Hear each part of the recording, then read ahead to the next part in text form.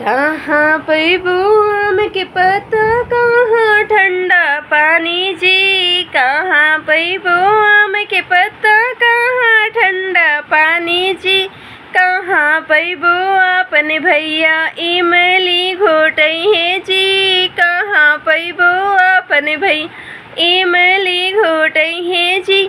बाग में पैबो आम के पत्ता कुआँ, ठंडा पानी जी। बाग में पैबो आम के पत्ता कुआँ, ठंडा पानी जी। आमा भेजी है अपने भैया, इमली घोटई है जी।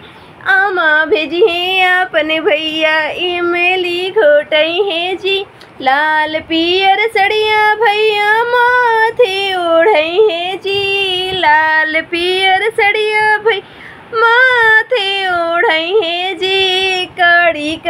कड़ी नोट भैया हाथ में धरई है जी। कड़ी कड़ी नोट भई हाथ में धरई है जी। नमस्ते आप सभी को। सो so, अगला हमारा रस्म है इमली घोटाई। इमली घोटाने का जो रस्म है वो मामा जी का है। मतलब भाई बहन ये जो गीत सुना आपने ये एक बहन गा रही है अपने भाई के लिए आ, कि कैसे मेरा इमली घोटेगा तो भैया आते हैं इमली घोटाने के लिए। उसमें आम के पत्ते का यूज़ किया जाता है और ठंडे पानी का। बेसिकली जो उनकी भतीजी है, मामा की भतीजी मतलब बहन की बेटी, वो अपने दांत से कोट कर अपनी माँ के उस पर थूकती है।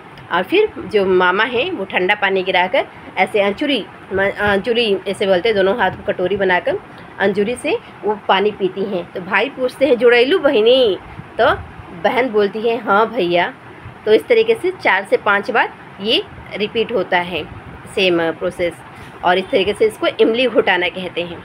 तो जब इमली घुटता है, यानी कि जब लड़की की माँ और उसके मामा इमली घोटाते हैं, तब उन लड़की की जो बुआ हैं, वो उस मामा को चैन से कड़े नहीं देती हैं। वो उसके ऊपर चलनी, सूप, कढ़ाई सब लाकर जैसे बेसिकली छेड़ना होता है, क्योंकि लड़की के मामा का जो रिश्ता उसकी बुआ से छेड़छाड़ का होता है। क्योंकि ये रिश्ता ही कुछ ऐसा है जैसे जीजा साली का होता है वैसे ये रिश्ता होता है। आ, दोनों आपस में खूब नोक झोंक होता है एंड काफ़ी एक दूसरे को छेड़ने वाला काम होता है और बहुत ही इंटरेस्टिंग होता है मज़ेदार होता है और इस तरीके से और कुछ नेक देते हैं जैसे कड़ी कड़ी नोट मैंने बताया। तो नेक में कुछ गोल्ड साड़ी आते हैं उसके ननिहाल से ज्वेलरी आती है।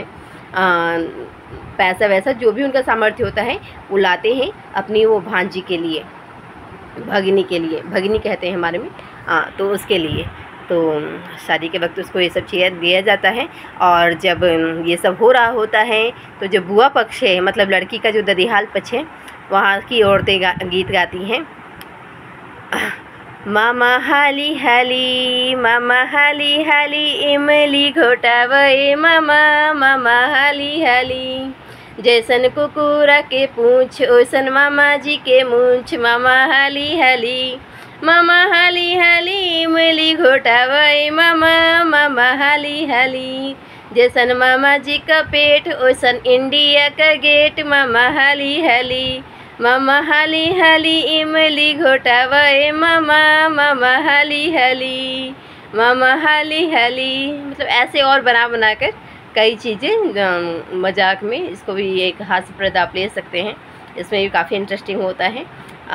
चलनी, सूप मतलब जो भी ऐसी चीज़ें होती हैं, सब उनके ऊपर ला कर रखने लगती हैं वो बुआ लोग, मामा जी के ऊपर। और उनको परेशान करने का सिलसिला जारी रहता है जब तक वो इमली घुटा नहीं लेते हैं। मतलब चैन से नहीं करने देना है, वही इनका लक्ष्य होता है। तो काफ़ी इंटरेस्टिंग होता है। इसमें बेसिकली मामा का बहुत इम्पोर्टेंट रोल होता है कि वो अपनी बहन की बेटी मतलब जो लड़की है उसके मामा हैं तो बहन की बेटी हुई तो बहन की बेटी के लिए ये सब करते हैं।